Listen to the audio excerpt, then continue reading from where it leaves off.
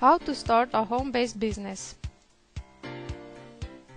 One of the best features of owning a home-based business is that there is no overhead, which more than likely translates to more money in your pocket. In today's economy, starting a home-based business is a great way to bring in extra income or launch a new career after a job loss. What do you lo love to do? Do you have a craft? A marketable service that can help a company save costs? What is that makes you really happy? Ask yourself these questions to get you thinking about what type of business you'd like to start. Obtain a business license and register a fictitious name. Contact your city or state's revenue office to find out how to start your home-based business.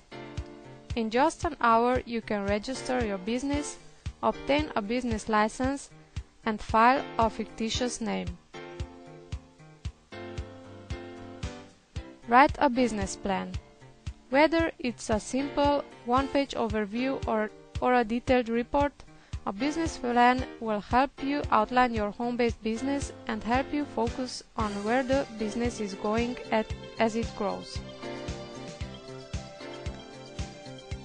Tell everyone you know about your new uh, about your new home-based business.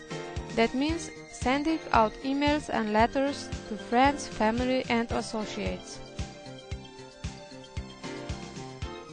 Invest in an accounting software, for example QuickBooks or software programs that can help you easily track your business income and expenses and will make year-end tax reporting simple.